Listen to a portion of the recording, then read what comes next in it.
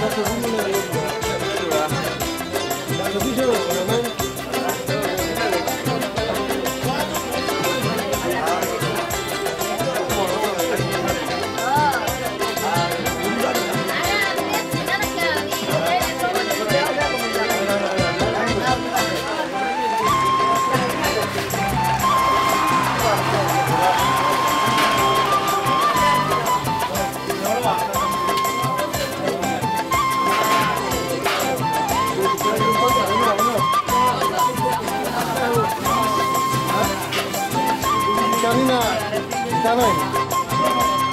বিশ টাকাও মাছ।